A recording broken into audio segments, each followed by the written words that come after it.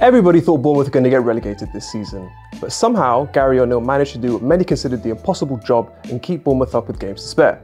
And how exactly did they do that? Well, it hasn't been easy. At the start of the season, Scott Parker was in charge, and he did really well to get the team promoted in his first season in the Championship. But in the Premier League, as you can see from this squad, it wasn't exactly what you would expect a Premier League squad to be in terms of the quality. Bournemouth basically carried a Championship squad into the Premier League. You look at the likes of Fulham, Nottingham Forest, they significantly bolstered in key areas. But Bournemouth essentially had to play a back five with a centre back or central, mid, central midfielder and Jefferson Lerma in there. And the tactics were very basic and it didn't really allow Parker to create a very expansive style of play like we saw with Bournemouth in the Championship. And Scott Parker wasn't really happy about the lack of investment in the summer. And after the 9 0 loss to Liverpool, he essentially threw his players under the bus, saying, I feel sorry for the fans. I feel sorry for the players, to be honest with you, because at the moment, we are just a bit under equipped at this level from where we have come from. The players need help. Today proved too big a challenge. The levels were far too big. At times, we couldn't bear it, the intensity. So, as you can see from that, a lot of short sentences, which generally means that he's holding back from what he actually wants to say, and he's pretty off. Unsurprisingly, Parker was sacked after those comments, and in came Gary O'Neil, who was Parker's assistant, and he was hired as the interim coach. And under O'Neil, as you can see from the tactics board here, he had Bournemouth in a more back to, back to basics approach, in a 4-4-2 slash 4-4-1, mid to low block. And the emphasis was in a similar way to go direct, but with Billing playing here just behind Dominic Solanke in somewhat of a second striker role, uh, he, could, his, he could link up with Solanke in a similar way that he did at the Championship. And the main aim behind this and behind Gary O'Neil's tactics was to steady the ship because Bournemouth had conceded 16 goals in the previous three games. And this was the starting 11 they used in Gary O'Neil's first game as interim uh, against Wolves. And it was a boring nil-nil, but it's exactly what the Bournemouth fans wanted to see in the sense that the team was very compact, uh, didn't let Wolves to get into dangerous areas. And this worked well initially, as Bournemouth went six games unbeaten in Gary O'Neil's first six games as interim. But during the World Cup break, remember that, that's quite a long time ago, Bournemouth struggled to score goals and prevent them, which is not the ideal combination you'd want from a Premier League side. And then we get to the January window, which was the perfect time for Bournemouth to make all the reinforcements that they were unable to make in the summer. And those signings significantly improved Bournemouth's attacking options, which basically meant that O'Neil could coax a more expansive style of play with a more talented group to work from.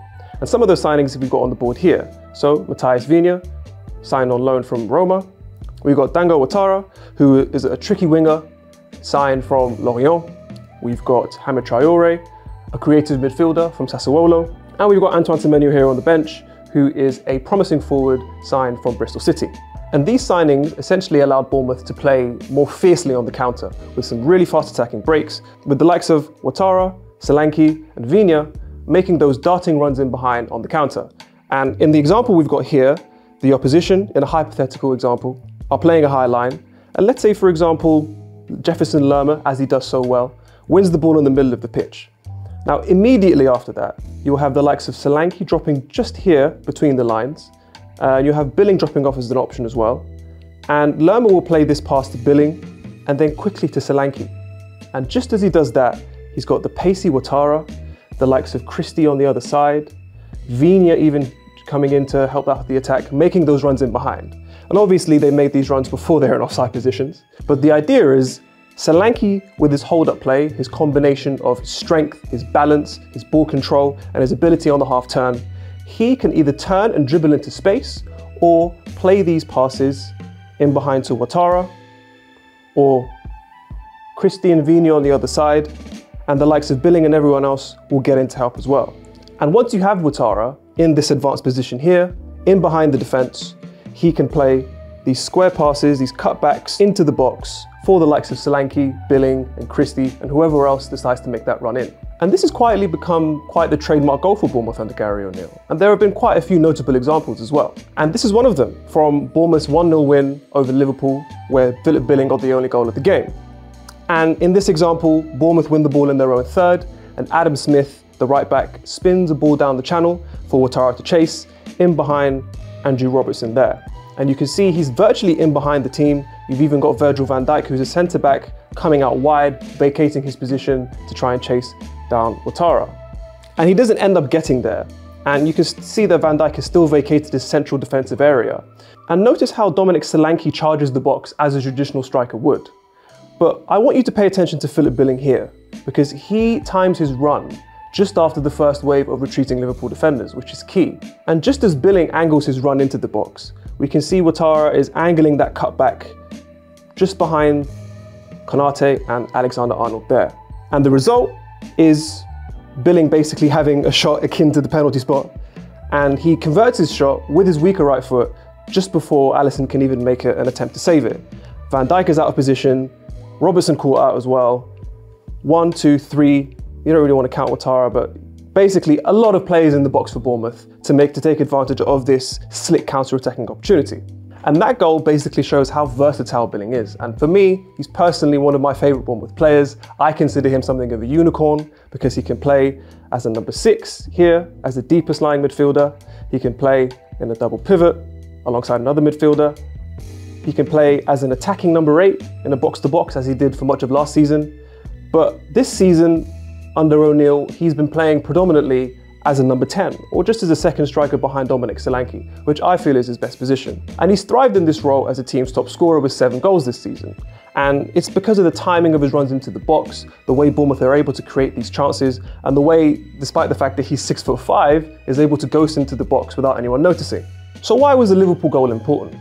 Well, it epitomises how quickly Bournemouth have been able to go from one side of the pitch to the other, especially against teams with high defensive lines. So Bournemouth have the fifth highest direct speed in the league, which is a measure of how quickly a team can get the ball from one side of the pitch to the other. And Bournemouth is 1.52 metres per second. And it's no coincidence either. Bournemouth have created almost identical versions of this goal against Liverpool, uh, against the likes of Tottenham, Leeds, and even Arsenal. It's simple in its nature, but so, so effective. Now, Bournemouth aren't just limited to creating these cutback chances on the counter. They can do it by going direct against deeper sitting teams as well, as we can see from this example from Bournemouth's 4-1 win over Leeds in April.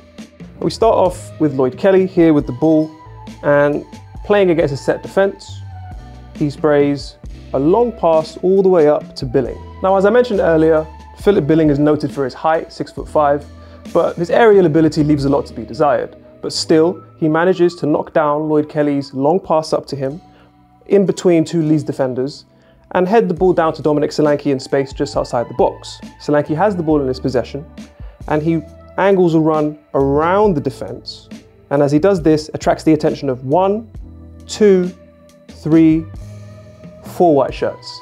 And from this position, you probably think that a cutback is near impossible but not for Solanke, because he has his trusty partner, Philip Billing, angling a run just as this Leeds defender begins to creep in as well.